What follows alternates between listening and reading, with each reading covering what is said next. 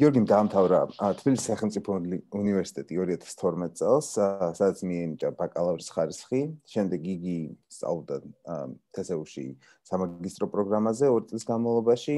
2014 წელს იყო იულიხის ვირტუალ კვლევების ცენტრში და შემდეგ სადოქტორო ნაშრომზე და დოქტორანტურაში სწავლობდა ნიუ-იორკის უნივერსიტეტში. და 2020 წლიდან იგი არის პოსტდოკი პრინსტონის უნივერსიტეტში. დიდი მადლობა გიორგი. კიდევ ერთხელ რომ დათანხმდით ჩვენს მოწვევას. აა დიდი მადლობა. პირველ რიგში გესმით ჩემი?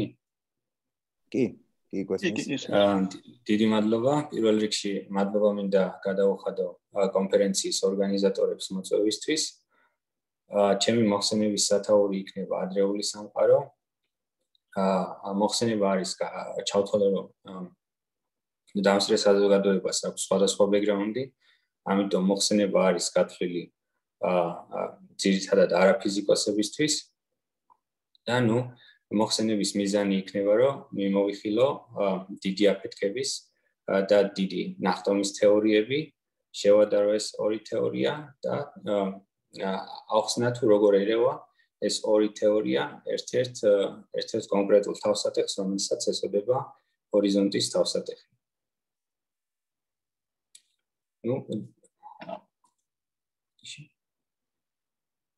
ამ დავიწყებ ისტორიული ფაქტებით. ა 1912 წელს პირველად აღმოაჩინეს, რომ ელექტრომაგნიტურ ტალღებს, რომლებიც მოდიოდნენ ახლომახლო galaktikებიდან, ჰქონდათ წითელი წანაცვლება. ამ დროისთვის დოპლერის დოპლერის ეფექტი უკვე ცნობილი იყო და ასევე მეტნაკლებად განვითარებული იყო ატომური სპექტროსკოპია.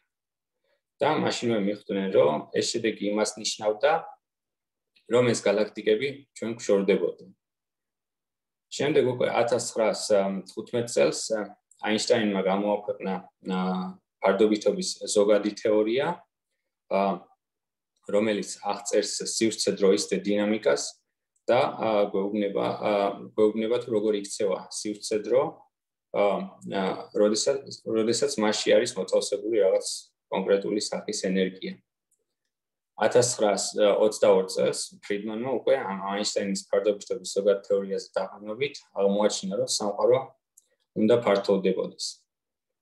შემდეგ 1927 წელს ლემეტრმა გამოთვალა რომ სამყაროში რომელიც ფართოვდება სიჩქარე, რომლებითაც galaktikები ერთმანეთს შორდებიან, პროპორციულია მათ შორის მანძილის.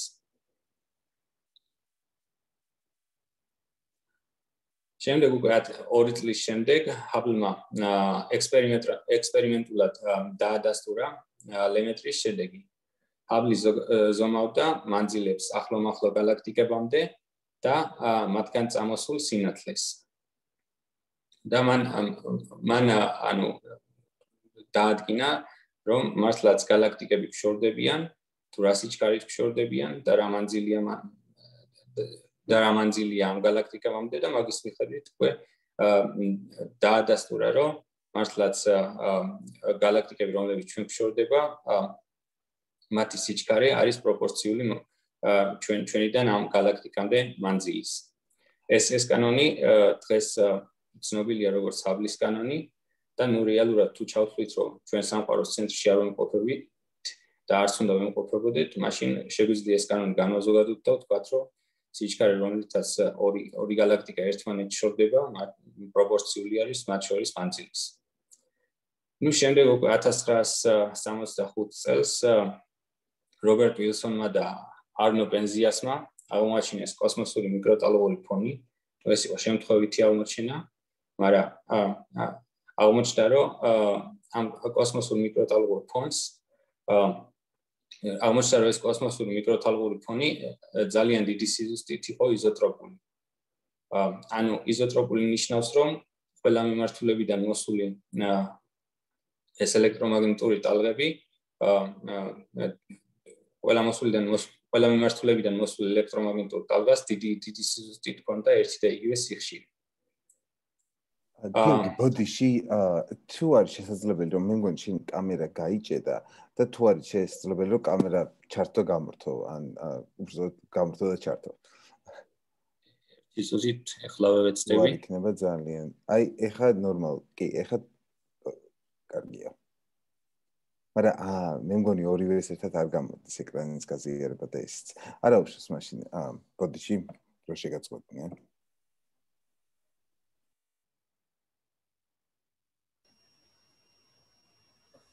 ეს კამერა ითიშება როდესაც PowerPoint-ზე გადა პრობლემა. არა უშავს არა უშავს არა პრობლემა.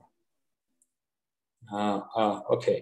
ხო შემდეგ სხვადასხვა დაკვირვებები ასევე გვიჩვენებს რომ სამყარო დიდ მანძილებზე არის ერთგვაროვანი და ასევე იზოტროპული. იზოტროპული უკვე განმარტე რასაც ნიშნავს ერთგვაროვანი ნიშნავს რომ თუ დაკვირვებას ვაკეთებ A და B წერტილში ნუ სამყაროს თვისებები არ იცვლება. ნუ კიდევ კიდევ ბევრი ისტორიული ფაქტი შემიძლია ჩამოთვალო, მაგრამ ამ მოხსენებისთვის ეს ფაქტები არის რელევანტური. ნუ იმ ფაქტიდან რომ სამყარო ფართოვდება, გამომდინარეობს რომ თუ პირობითად დროში უკან წავალთ, სამყარო უნდა შეიკუმშოს. და თუ ეს მუდმივად გაგრძელდება, მაშინ ნუ სამყარო მივახლოვდება რაღაც მდგომარეობას, რომელსაც აა ფიზიკოსები ვეძახით სინგულარობას და ამ მდგომარეობაში აა საჭიროა რომ ფიზიკის კანონების განზოგადოება მოხდეს.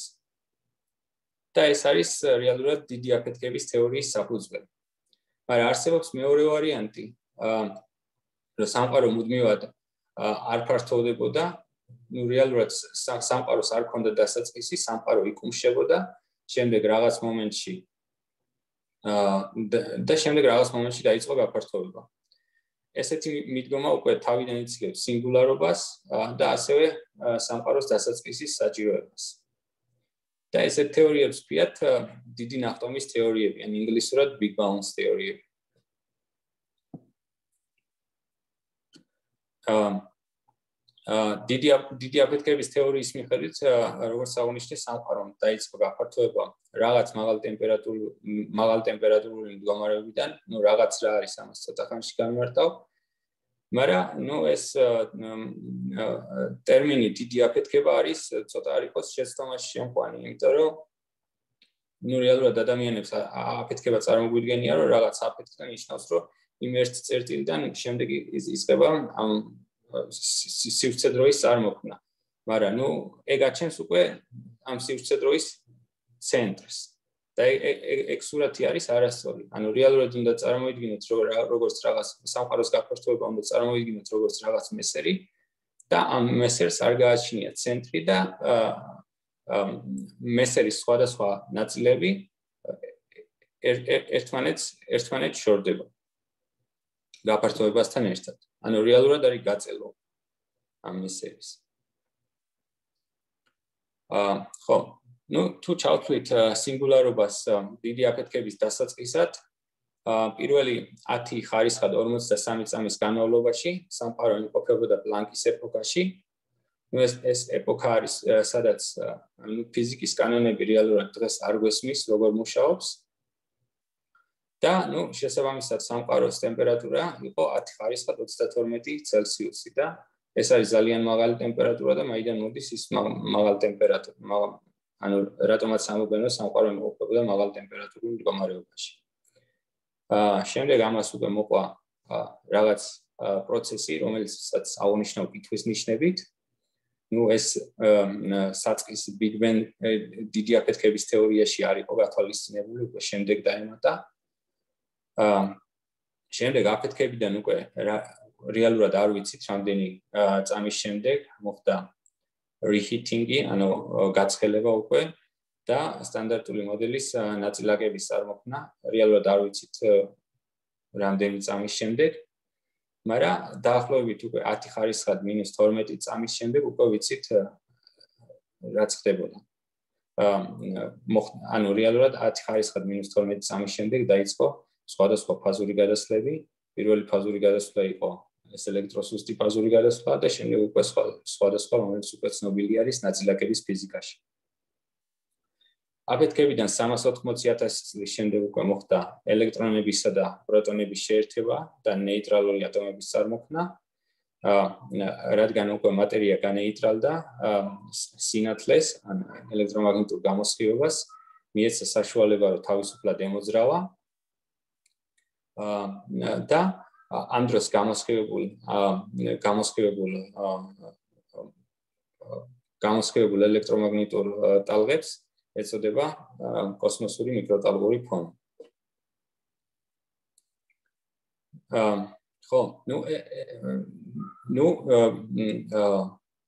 დღევანდელი ჩვენი სამყარო შედგება დაახლოებით 10000 ნაჭრისგან, რომლებიც დიდი აფეთქების თეორიას თუ გავყვებით, ერთმანეთთან არასოდეს არ ყოფილა მიზეს შედეგობრივ კავშირში.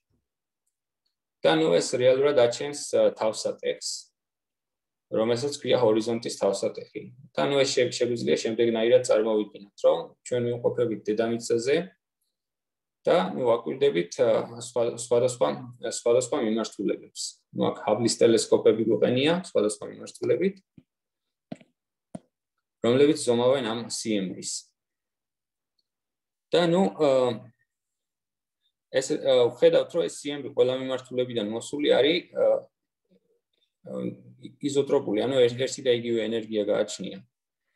აა მაგრამ თუ სხვადასხვა მიმართულება ცაში არასოდეს არ ყოფილა ერთმანეთთან მიზეზშედეგობრივ კავშირში, მაშინ არ არსებობს რეალურად მიზეზი თუ რატომ უნდა იყოს ამ ამ ამ ელექტრომაგნიტური ტალღების სიხშირე ერთი და იგივე. თან თან ერთი და იგივე არის ძალიან დიდი სიზუსტით. და ნუ ამას ამას უწოდებენ ჰორიზონტის თავსატეხს.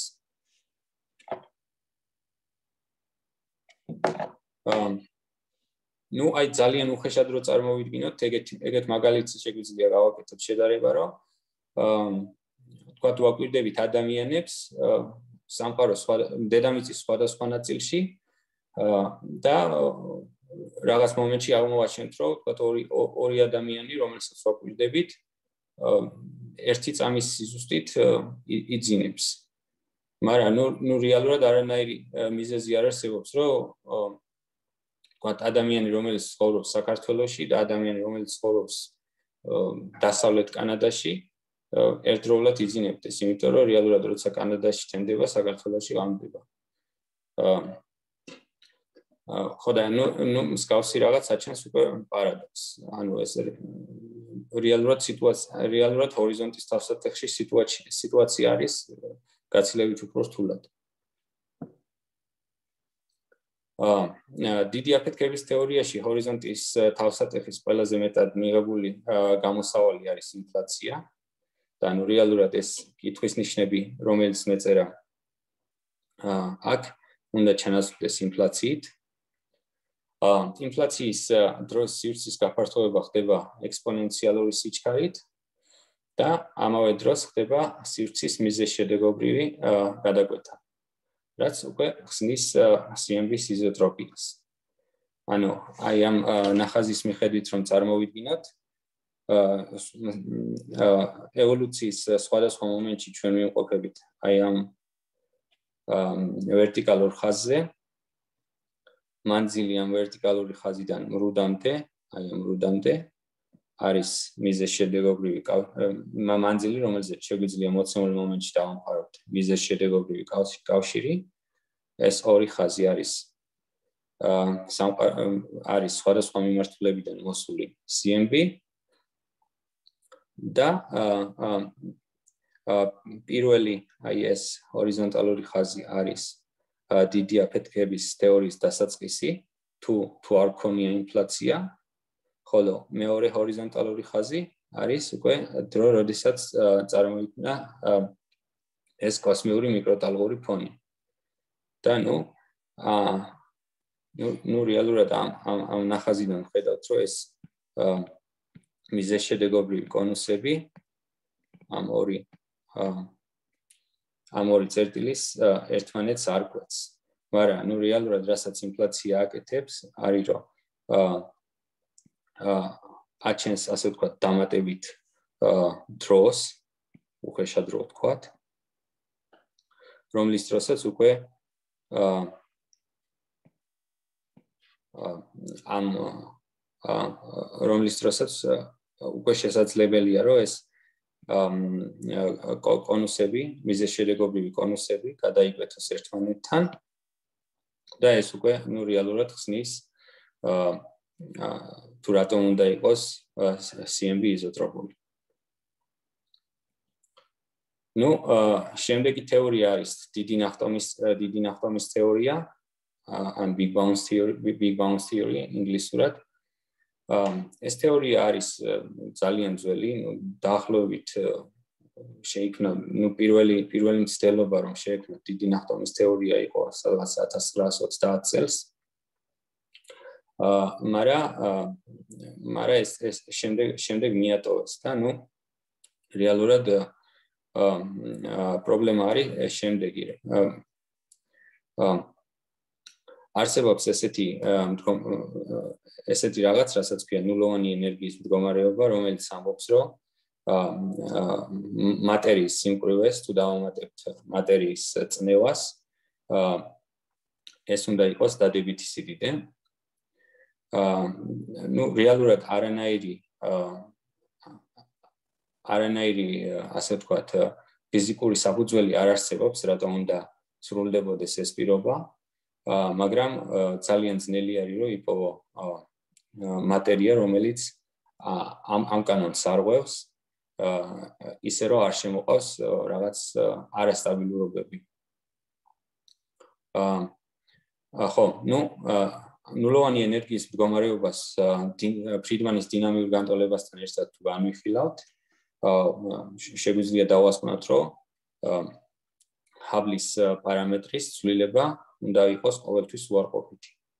რაც რეალურად გვეუბნება, რომ სამყარო არ შეიძლება რომ ჯერ იკუმშებოდეს და შემდეგ ფართოვდებოდეს, ან პირიქით იკუმშ ან ფართოვდებოდეს და შემდეგ იკუმშებოდეს.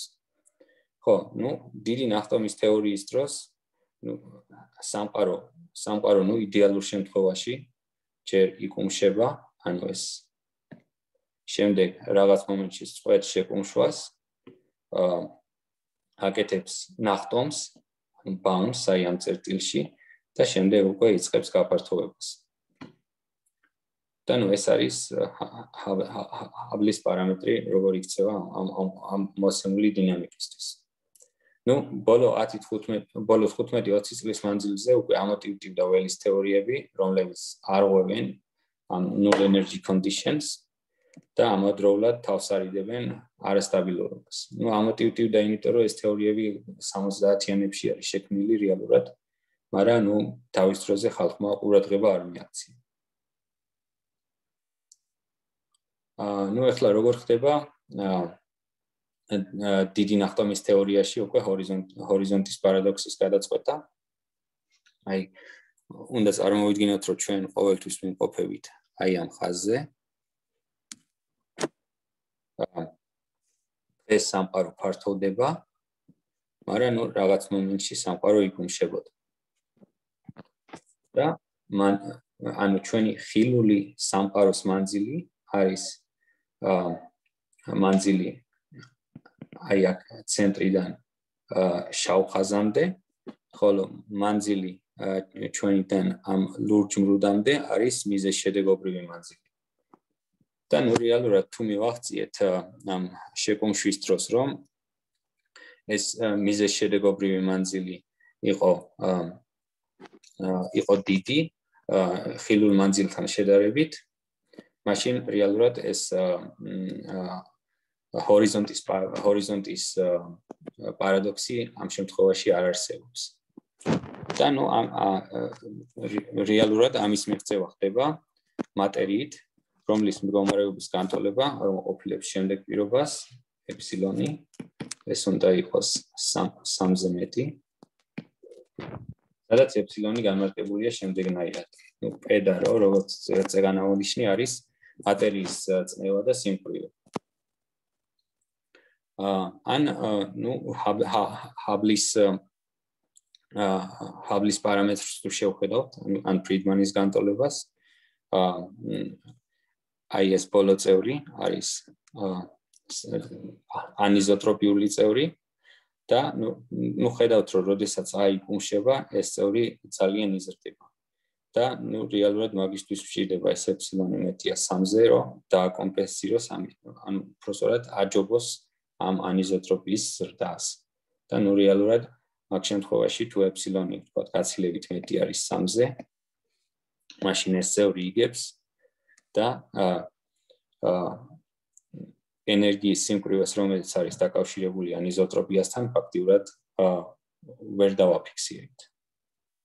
ანუ უხილავი იქნება დღევანდელი დღევანდელი ექსპერიმენტებისთვის.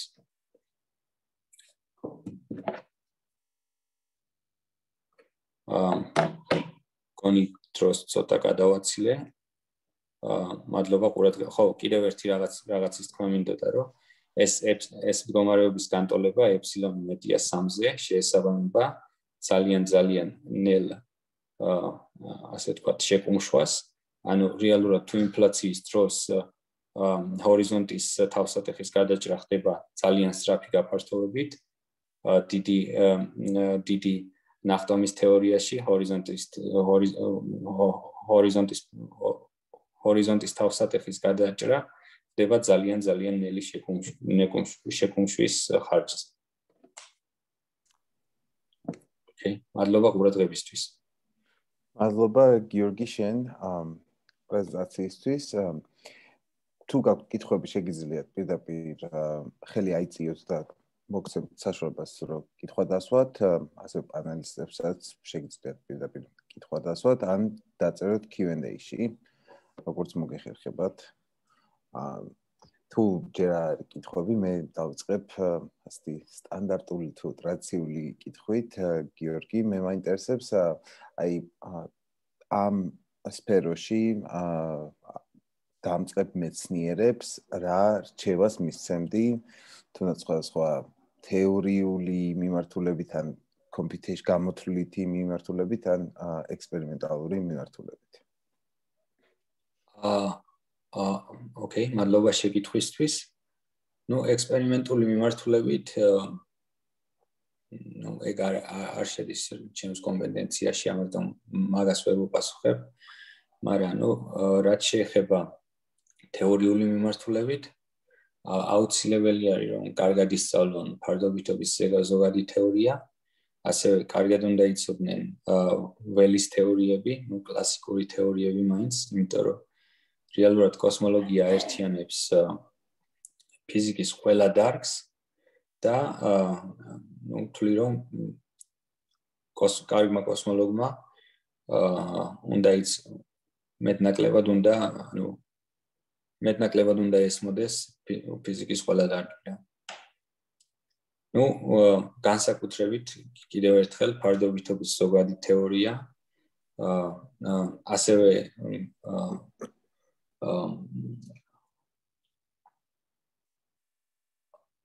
სითხეების დინამიკა, იმიტომ რომ დიდმანძილზე ჩვენ ველებს უყურებთ ხოლმე როგორ როგორ წესი როგორც სითხეს, ამიტომ სითხის დინამიკის სოდნაც აუცილებელია.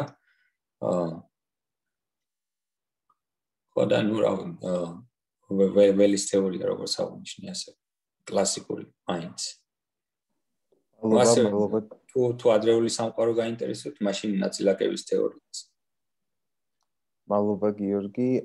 ბატონო გზარს აკაცეული ხელი. შეგიძლიათ დასვათ კითხვა. აი ბნელ მატერიასთან დაკავშირებით თუ შეიძლება. წინა ლექციიდან ბერჟიანის ლექციიდან. აა ესეთი დასკვნა შეიძლება და გაკეთებულიყო რომ ბნელი მატერია ყოველთვის არის ასოცირებული რეალურ მატერიასთან. აა აი კითხვა მდგომარეობს შემდეგში.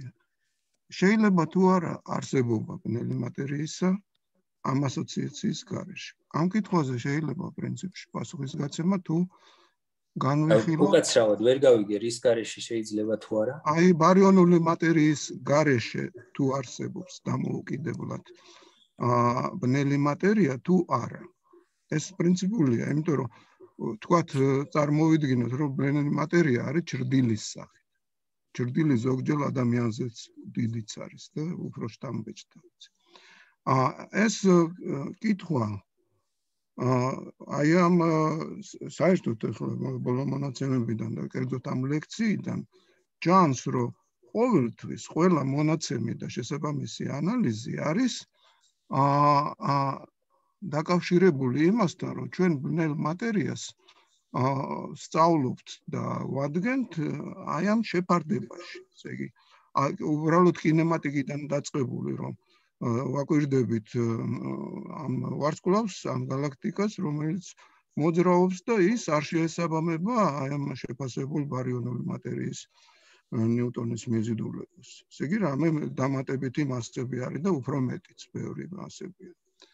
აა, მაგრამ აი თუ ჩვენ რაღაცა მატერიალურ საფუძველს ვეძებთ ბნელ მატერიაში, ახალი ნაწილაკები, თქვა იქნება აქსიონი იქნება თუ მარჯვენა ნეიტრინო და ასე შემდეგ. აა, ეს ობიექტები არსებობენ ჩვეულებრივი მატერიის დამოუკიდებლად. ამიტომ ეს პრინციპული კითხვაა. თუ მხოლოდ ასოციაციაშია, მაშინ უნდა ვეცადოთ უბრალოდ სხვა რამეები შევცვალოთ. დამატებით იმას აქ არ შემოვიტანოთ, არამედ სხვა პარამეტრები, კერძოდ აი თვითონ გრავიტაციული მოდელის მოდიფიკაცია. აი ამ კითხვაზე ექსპერიმენტულად შეიძლება გაიცეს პასუხი. აი იმ არეებში, სადაც თავის დიდი არეები არის ვოიდები, ცარიელი არეები, ანუ თითქმის ცარიელი არეები მატერიისაგან, დაკვირვებადი მატერიისაგან, ხო? მაგრამ ეს თლათ იდეალურად ცარიელი უბნები კი არ არის სამყაროში, არამედ იქ მაინც არის რაღაცა მატერია, რაღაცა ვარსკვლავები გვხვდება. აი ამ ვარსკვლავების კინემატიკას თუ დავაკვირდებით, ისევე როგორც ჩვეულებრივი მატერია დადგენის დროს შეიძლება განსაზღვროთ. არის იქ შევსებულია ეს ცარიელი მატერიის უბნები, შეიძლება სულაც შევსებული არის ამბნელი მატერია. შეიძლება არა. ამიტომ ეს თვისობრივად სხვა არის ეს galaktikაში ვაფასებთ ბნელი მატერიის წვლილს თუ დამოუკიდებლად აი აქ შემდეგი კითხვებით შეიძლება დაისვას მაგრამ აი ეს პრინციპულია და შეიძლება არსებობს ეს მონაცემები არსებობს კიდეც და იქ მართლაც არის დამტკიცებული რომ პროპორცია იგივე არის ესე იგი 1/5-ზე არის აი ამ цаრიელ არეებში, ვოიდებში. ეგ ეგ არ ვიცი, ამ ზუსტად ესეთი ექსპერიმენტული პასუხი არსებობს თუ არა. თუ არა, ეს შეიძლება გაკეთდეს. აა რამდენად ჩემთვის არის ცნობილი, ექსპერიმენტული პასუხი თუ რა არის ბნელი მატერია არ არსებობს. კინემატიკურ. კინემატიკურ. ჩვენ ფაქტი სახეზეა თითქოს კონსტრუქტორი რაღაც რაღაც რაღაც მატერია რომ არსებობს. თუ პირველი დაშვება რომელსაც ვაკეთებთ არის რომ აინშტაინის ზოგადი ფარდობითობა მუშაობს. მაგ შემთხვევაში აა ფაქტი სახეზია რომ არსებობს რაღაც რაღაც სახის ენერგიის ფორმა რომელსაც რომელიც უნდა იყოს მატერია რომელიც უნდა იყოს მატერია რომელიც გრავიტირებს, მაგრამ არის დაუკვირვებელი ელექტრო ანუ ელექტრომაგნიტ ელექტრომაგნიტურად არ არის დამოხტული. ნუ ეხლა რა არის ეს მატერია? რეალურად ჩვენ არ ვიცით. არსებობს ბევრი კანდიდატები. აა მაგრამ დადგენილი არ არის სუსტი ფორმა.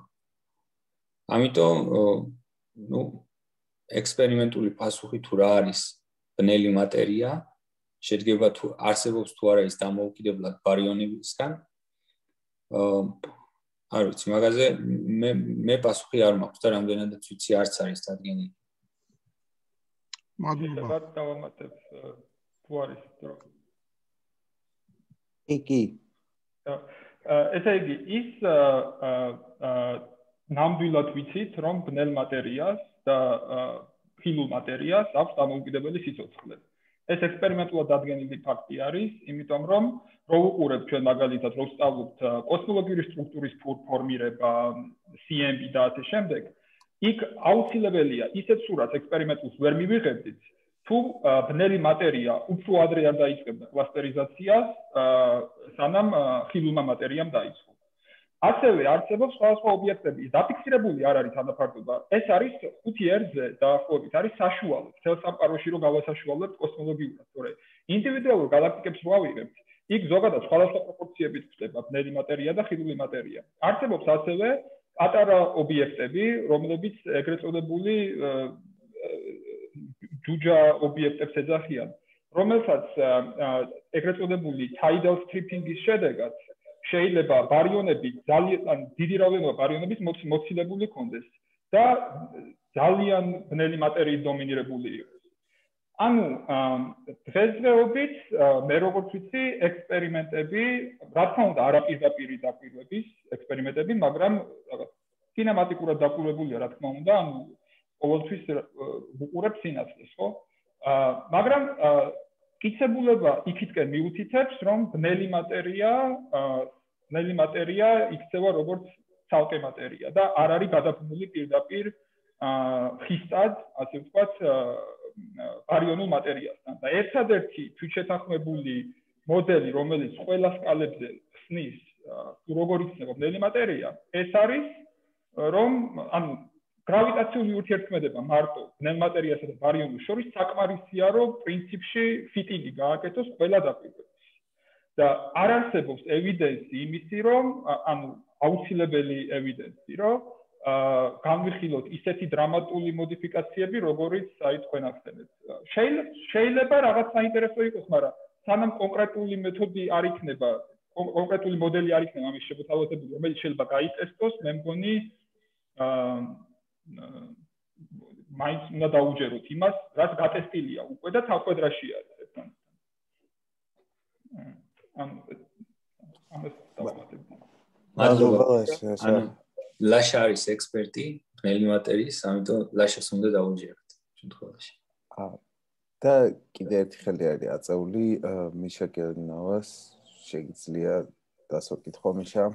რა მაინტერესებს ესე იგი შენ როგორც წარმოგვიდგინე ინფლაციის თეორიის ასე თქვათ ა ალტერნატივა არის big bounce თეორია ხო? sorry, sorry, ეგრე. აა ხო და ანუ რა მაინტერესებს, ну, მე ჩემთვის ინფლაცია არის უბრალოდ big bounce ნაკლებად და როგორც ვიცი, ძირითადად ყველაზე ხშირი მოდელები ინფლაციური ინფლაციური მოდელები არის ხოლმე, ხო? შენ შენ პირადად big bounce მოდელებზე მუშაობ თუ ინფლაციური და როგორ ფიქრობ რომელი რო ახლა თქვა დამწყები ის რო იყოს.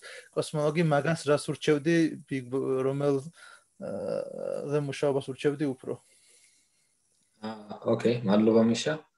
აა ხო მე ახლა ამ მომენტში მუშაობ big bounce თეორიებზე ну რა თქმა უნდა ეს ინფლაციის თეორიები უფრო მეტად არის მისაღები საზოგადოებისთვის აა მაგრამ ეს big bounce თეორიები ამოდივდივდა სადღაც ბოლო ბოლო 10 წლის მანძილზე აა ну ახლა რა შეეხება მე რომლის მჯერა პასუხი არის ალბათ რომ არც ერთის აა მაგრამ ну აა ასე ვთქვათ big bounce თეორიები უფრო ნაკლებად გამოკვლეული არის, ამიტომ მაგ მიმართულებით უფრო მე მე მე მეტი საინტერესო არის აა ჩემი აზრით, მაგ მიმართულებით კვლევას უფრო მეტი საინტერესო შეიძლება რომ მოყვეს.